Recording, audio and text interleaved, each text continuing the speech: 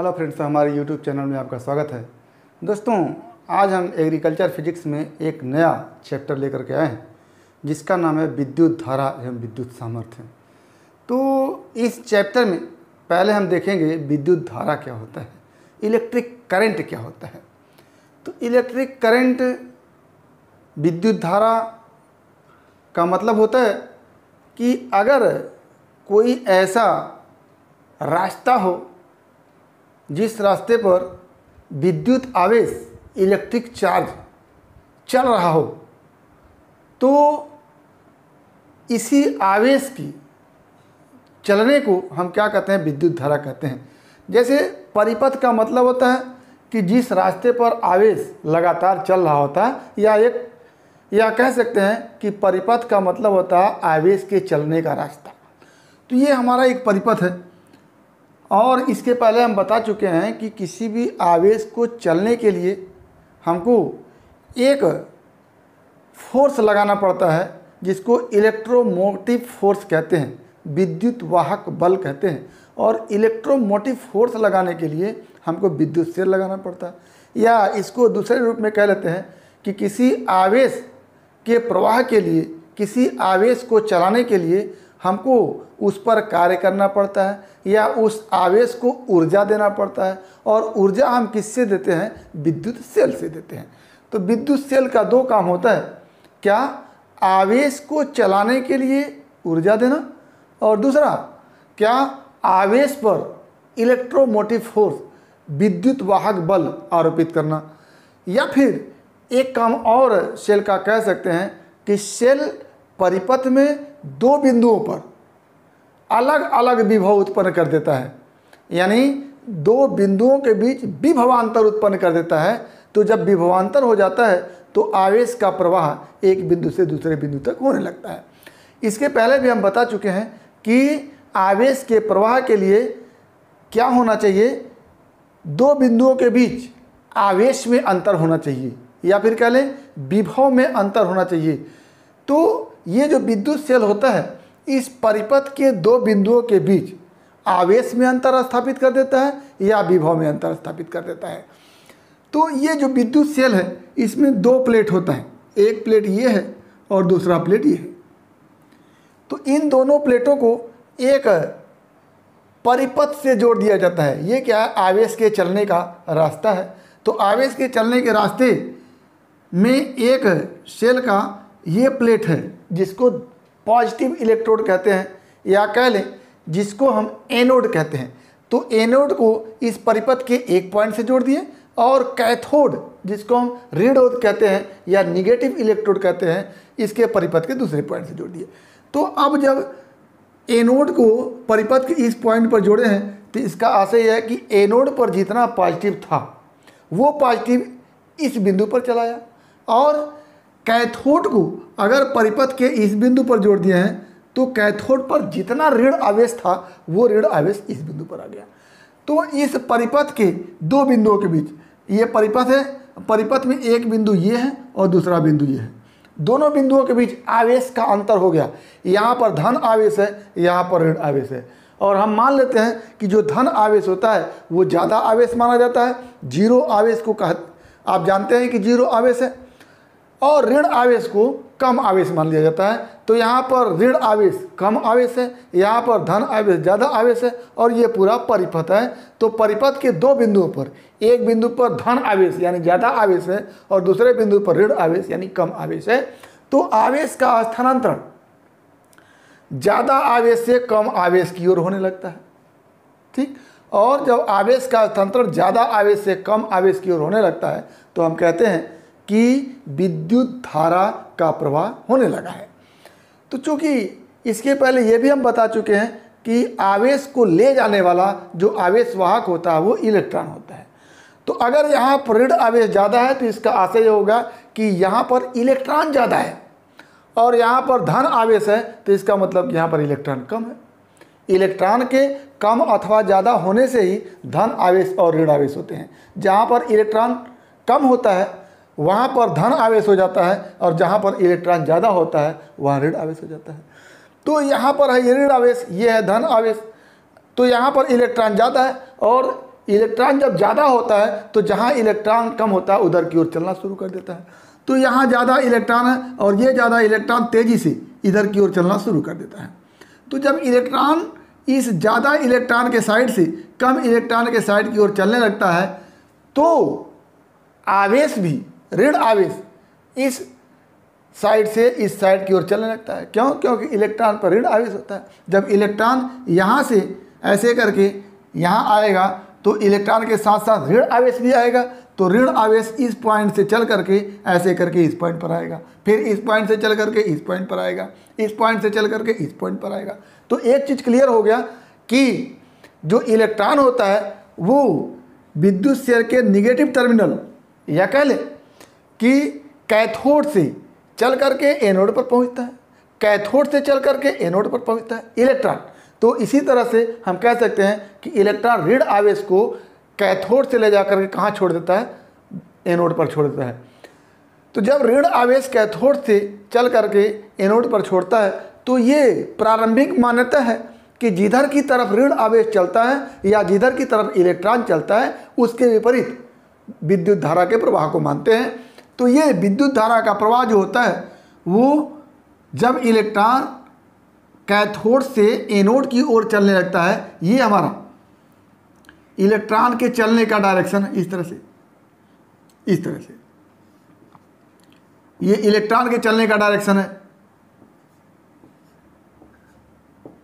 और इलेक्ट्रॉन अपने साथ ऋण आवेश लेकर के चल रहा तो जब ऋण आवेश के चलने का डायरेक्शन एक तरह से देखें एंटी क्लॉकवाइज है तो हमारी धारा जो होगी, वो क्लॉकवाइज होगी, इस तरह से।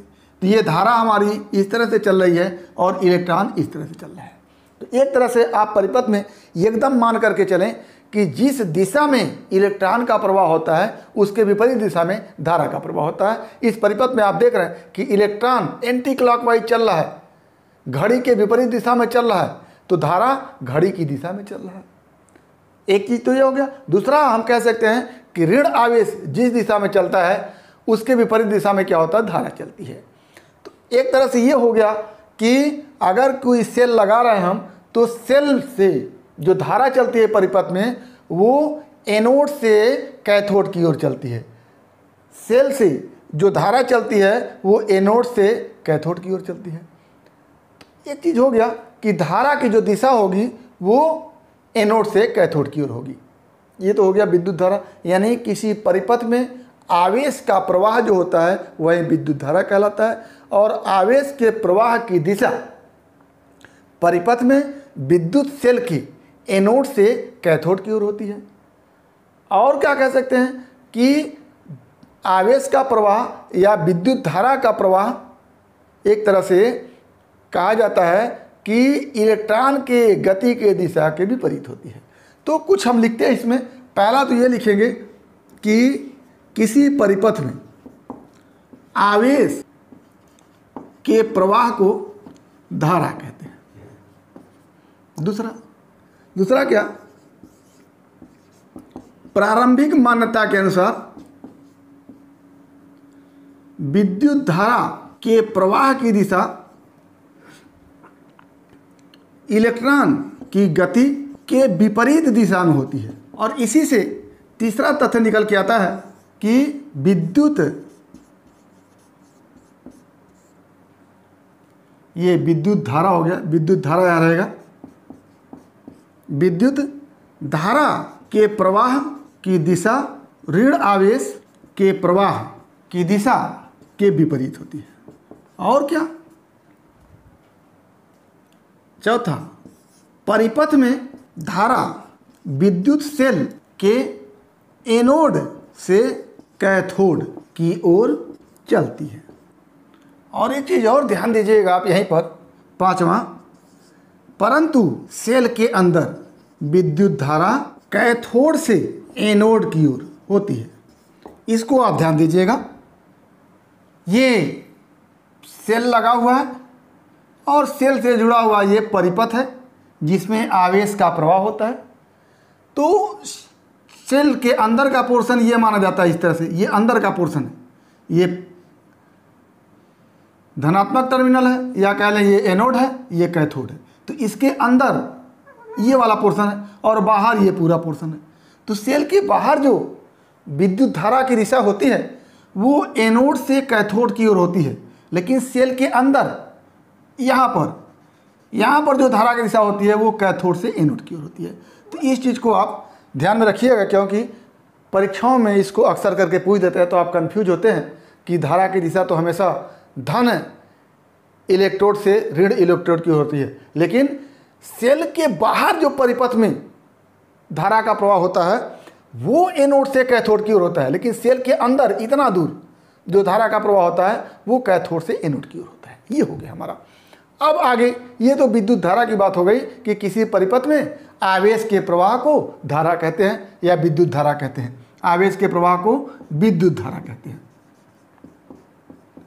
किसी परिपथ में आवेश के प्रवाह को विद्युत धारा कहते हैं।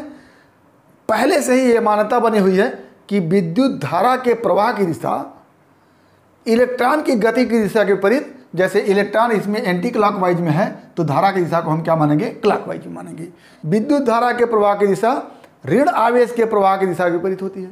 जैसे इधर अगर इलेक्ट्रॉन चल रहा है तो इसी दिशा में ऋण आवेश चलेगा, क्योंकि इलेक्ट्रॉन ही ऋण आवेश को लेकर के जाता है। तो अगर एंटी क्लॉकवाइज में इलेक्ट्रॉन चल रहा है तो एंटी क्लॉकवाइज में ऋण आवेश भी चलेगा। तो इलेक्ट्रॉन के विपरीत दिशा में अगर धारा को हम मान रहे हैं तो ऋण आवेश के विपरीत दिशा में हम ये धारा को मानेंगे। तो यहाँ से क्या हो गया? ऋण आवेश के प्रवाह की दिशा के विपरीत होती है। अगला, परिपथ में धारा विद्युत सेल की परिपथ ये हमारा है, यहाँ से लेकर के यहाँ तक ये परिपथ है। तो परिपथ में जो धारा होती है वो एनोड से चल करके कैथोड पर जाकर रुकती है। एनोड से चल करके कैथोड पर जाकर के रुकती है। एनोड से चल करके कैथोड पर जाकर रुकती है। लेकिन सेल के अंदर विद्युत धारा का प्रवाह कैथोड से एनोड की ओर होती है। ये विद्युत धारा के विषय में इतनी हमारी जानकारी हो गई। ये छोटा सा, ये जो हम बनाए हैं, ये बात की चीज़ है, इसको हम रेजिस्टेंस कहते हैं, प्रतिरोध कहते हैं। हर विद्युत उपकरण में अगर हम विद्युत धारा का प्रवाह करते हैं, जैसे यहाँ पर अगर हम एक बल्ब लगा दें तो बल्ब में क्या होता है? विद्युत धारा को रोकने का गुण होता है, और वही रोकने का गुण क्या कहलाता है? प्रतिरोध कहलाता है रेजिस्टेंस कहलाता है। तो हर इंस्ट्रूमेंट में रेजिस्टेंस होता है और रेजिस्टेंस को इस आर से लिखते हैं। तो ये बात की चीज़ें हम बाद में देख लेंगे। आगे हमारा एक और फैक्टर बनता है, विद्युत धारा की तीव्रता इंटेंसिटी ऑफ़ इलेक्ट्रिक करंट ये तो हमारा विद्युत धारा होगा सीधी से परिभाषा हो गई कि किसी भी परिपथ में विद्युत आवेश के प्रभाव को विद्युत धारा कहेगी। विद्युत धारा की दिशा क्या होती है? सेल के एनोड से कैथोड की ओर, सेल के अंदर कैथोड से एनोड की ओर इलेक्ट्रॉन के प्रवाह के विपरीत दिशा में, ऋण आवेश के प्रवाह की विपरीत दिशा में तो ये हमारी विद्युत धारा के विषय में ढेर सारी जानकारी होगी। आगे हम विद्युत धारा की तीव्रता देखेंगे। इंटेंसिटी ऑफ़ इलेक्ट्रिक करंट क्या होता है उसको देखेंगे। तीव्रता। Intensity of electric current intensity of electric current तो परिपथ कोई भी हो, अगर उसमें आवेश एक बिंदु से दूसरे बिंदु तक जाता है तो हम कहते हैं कि उसमें विद्युत धारा का प्रवाह हो रहा है। लेकिन कितना विद्युत धारा का प्रवाह हो रहा है? जैसे, अगर कहीं से जल प्रवाहित हो रहा हो तो कोई भी देखेगा तो कहेगा कि देखिए, जल धारा चल रही है। लेकिन अगर उसकी तीव्रता की बात हो कि कितनी तेज जलधारा चल रही है तो उसके विषय में उसका एक माप होगा, इतने लीटर प्रति सेकेंड। इस तरह से बताएँगे आप। तो बिल्कुल वहीं विद्युत धारा की तीव्रता भी वही तथ्य है कि किसी परिपथ में आवेश का प्रवाह तो हो रहा है, लेकिन उसकी तीव्रता कितनी है, उसकी मजबूती कितनी है? ज़्यादा विद्युत धारा है कि कम विद्युत धारा है? तो ये मात्रात्मक पहलू है। क्या है? विद्युत आवेश का प्रवाह किस रेट से हो रहा है, उसी रेट को हम क्या कहते हैं? विद्युत धारा की तीव्रता कहते हैं। और रेट विद्युत आवेश के प्रवाह का रेट दर जो होता है, वो हम समय के सापेक्ष मापते हैं। तो जैसे ये हमारा ये सेल लगा हुआ है, ये परिपथ है, इसमें ये ऋण टर्मिनल है, ये धन टर्मिनल है, यहाँ पर इलेक्ट्रॉन ज़्यादा है और इलेक्ट्रॉन जब ज़्यादा है तो वो कम इलेक्ट्रॉन की तरफ़ जाएगा, यहाँ पर कम इलेक्ट्रॉन है तो इलेक्ट्रॉन इस तरह से से इधर की तरफ़ चलेगा और धारा हमारा हम बता चुके कि इलेक्ट्रॉन जिधर चलता है, उसके विपरीत दिशा में ये धारा चलती है, ठीक? तो अब किसी भी बिंदु पर, यहाँ पर एक बिंदु लेते हैं, ऐसे करके। ये इलेक्ट्रॉन यहाँ से चला, तेज़ी से यहाँ से होकर गुजरा, फिर इलेक्ट्रॉन से चला, तेज़ी से यहाँ से होकर गुजरा। तो एक सेकेंड में, एक सेकेंड में इलेक्ट्रॉन जितना कुलाम आवेश इस बिंदु से लेकर के जाता है, जैसे आप एक कंस्ट्रक्शन में एक किसी लेबर को लगा दिए, वो लेबर बार बार एक ही रास्ते से ईंट को लेकर के जा रहा तो आप वहीं पे बैठ करके काउंट कर रहे हैं कि एक घंटे में कितना ईंट लेकर के गया। एक मिनट में पाँच ईट, दूसरे मिनट में दस ईट, तीसरे मिनट में पंद्रह ईट तो क्या हो गया? आप एक घंटे में काउंट कर सकते हैं कितनी ईट लेकर गया।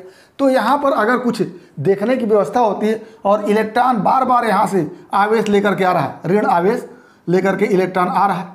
इलेक्ट्रॉन क्या ऐसे चला, यहाँ पर आया, फिर ऐसे चला, यहाँ पर आया, फिर ऐसे चला, यहाँ पर आया। तो इस बिंदु पर बार बार वो आ रहा है और क्या लेकर के आ रहा है? ऋण आवेश लेकर के आ रहा है। तो इस पॉइंट पर एक सेकेंड में जितना आवेश गुजर जाता है, उसी आवेश की मात्रा को हम क्या कहते हैं? इंटेंसिटी ऑफ़ इलेक्ट्रिक करंट कहते हैं। विद्युत धारा की तीव्रता कहते हैं। तो परिपथ के किसी बिंदु पर एक सेकंड में जितना आवेश प्रवाहित हो जाता है, उसी आवेश की मात्रा को हम क्या कहते हैं? विद्युत धारा की तीव्रता कहते हैं। तो क्या लिखेंगे कि किसी परिपथ में, किसी बिंदु पर एक सेकंड में, इसी को आप ब्रैकेट में लिखते हैं प्रति सेकंड एक सेकंड का मतलब प्रति सेकंड